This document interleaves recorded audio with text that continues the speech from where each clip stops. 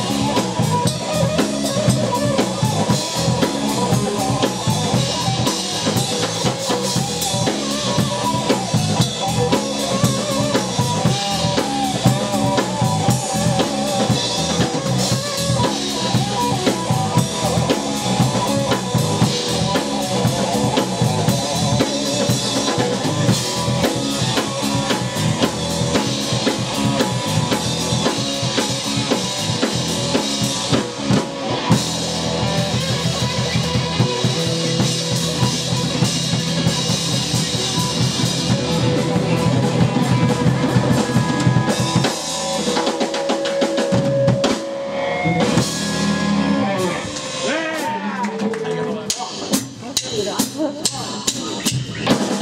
Only be